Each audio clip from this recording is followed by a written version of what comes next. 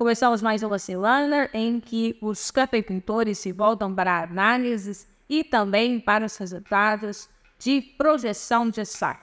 A gente aí tem um pequeno déficit daquilo que os produtores estavam esperando, o que se confirma com ah, esse momento lá da lavoura. Muitos milhos estão caindo, mas há um desenvolvimento intenso daqueles que permanecem no pé.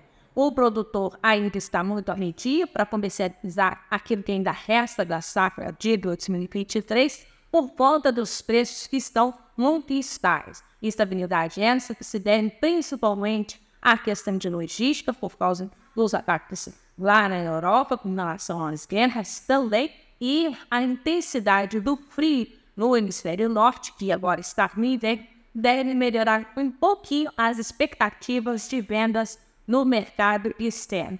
Mas, com essas nevascas que a gente está tendo notícia aí, é claro que os cafés e restaurantes ficam fechados, isso também diminui o consumo externo lá fora. Então é preciso analisar muito cuidado na hora de decidir vender a sua safra. Mas se você tiver compromissos financeiros que nesse início de ano são muito grandes, é preciso ainda redobrar essa, essa atenção, fazendo as contas ponta do lápis, para não perder dinheiro com a safra estocar.